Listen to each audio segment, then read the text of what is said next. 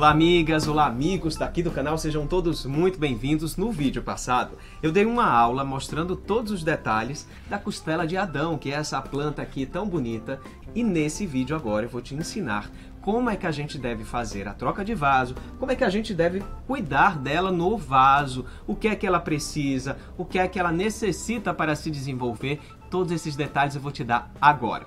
Se você não é inscrito no canal, se inscreve comenta o vídeo, compartilha com seus amigos, curte também, porque isso me ajuda bastante aqui no canal.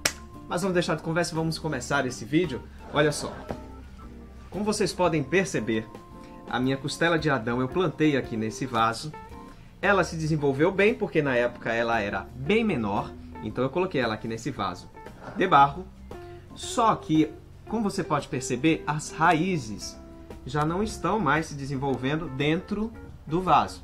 Elas estão procurando espaço fora porque aqui dentro já não há mais espaço. Então, se eu continuar deixando a minha costela de Adão aqui, provavelmente as folhas não vão ficar maiores. Ela vai começar a se limitar. Então, para que ela se desenvolva ainda mais, é necessário que eu faça a troca de vaso. E eu vou fazer essa troca de vaso por esse vaso aqui. Esse vaso que é bem maior, que é de cimento, que é resistente e que vai ocupar bastante espaço de substrato para que as raízes consigam se desenvolver. Para simular um pouco o que essa planta tem na natureza, eu vou fazer isso aqui neste vaso novo que ela vai ser replantada. Então, para isso, eu peguei uma coisa que ela teria na natureza, que são folhagens secas. Como a gente pode ver aqui, ó, são várias folhas que eu piquei elas em pedaços, porque isso vai garantir com que vários micro-organismos também possam se desenvolver dentro da, do substrato. Só para você ter uma ideia, até as minhocas se alimentam de folhagem seca. Além disso, essa folhagem seca, ela ajuda também a manter a umidade.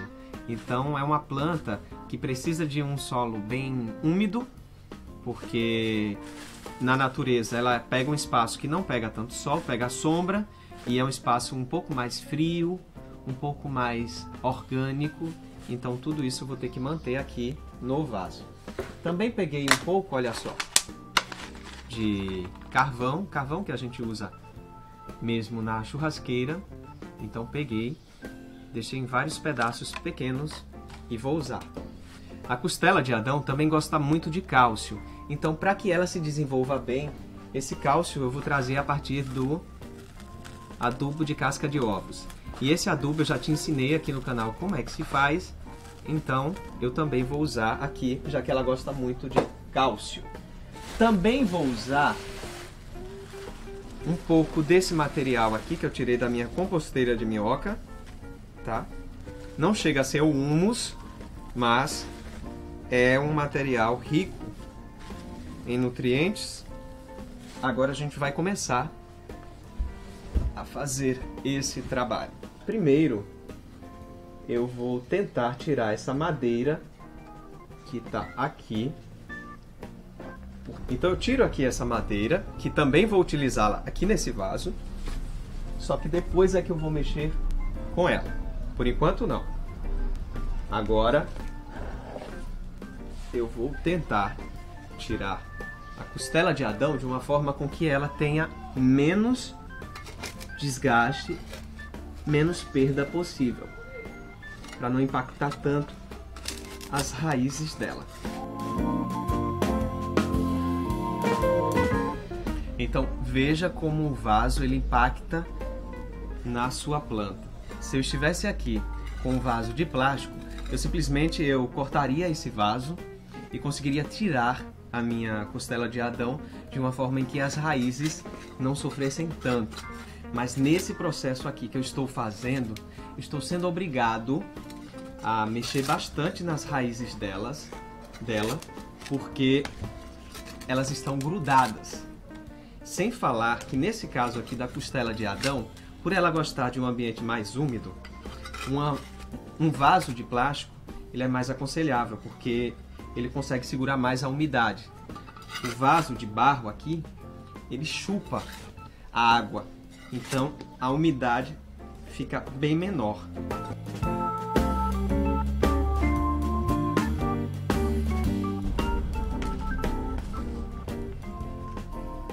Olha só, gente, eu não tive muita opção, tá? Como vocês podem ver aqui, olha só.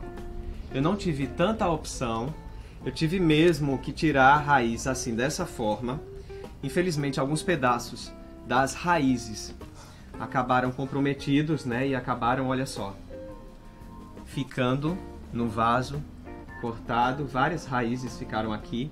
Então, nesse processo, a planta tem uma perda muito grande mas era necessário para que eu conseguisse fazer com que essa planta se desenvolvesse bem. Aqui eu vou aproveitar que eu fiz essa retirada e vou pegar aqui fiozinho, né, uma muda que começa a se desenvolver.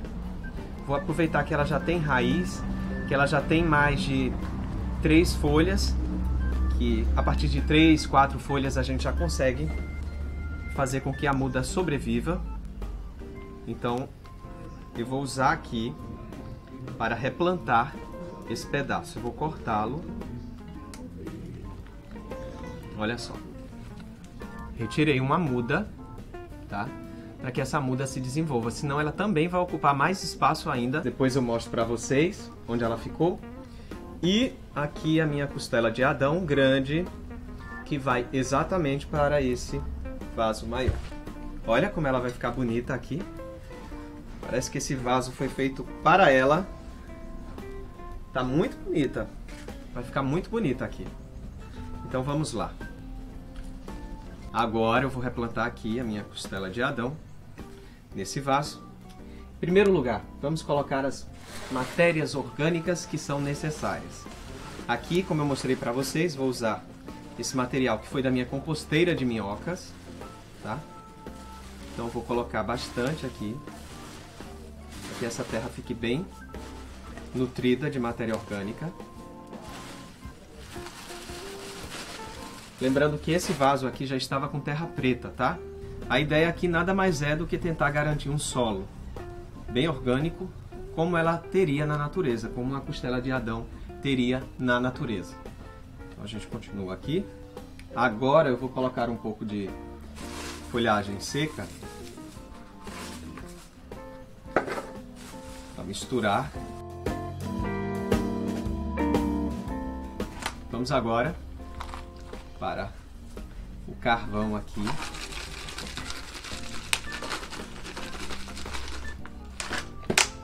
Qual a função do carvão?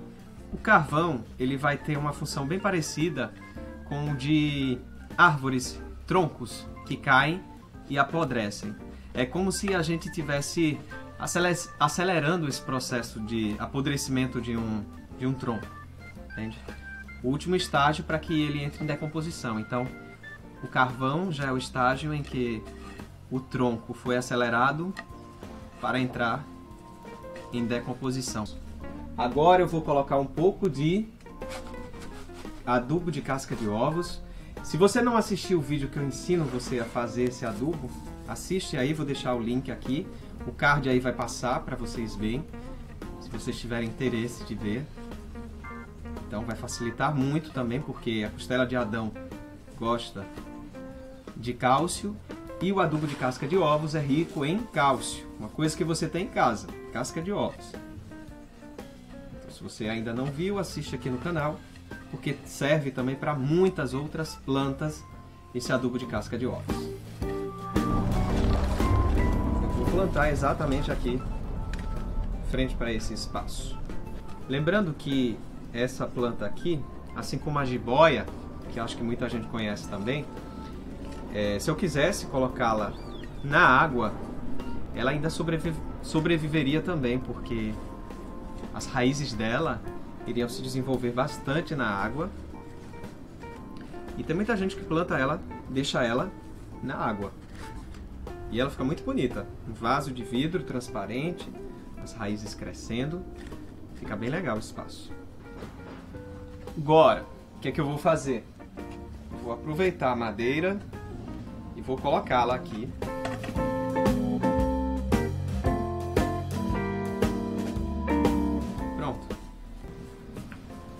E por último aqui, vou acrescentar a folhagem seca. Essa folhagem eu não vou nem misturar.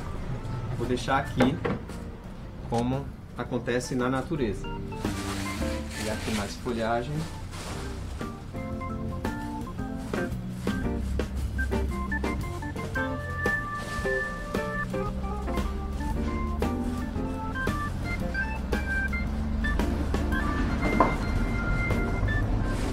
Veja que eu não gastei praticamente nada com relação a adubação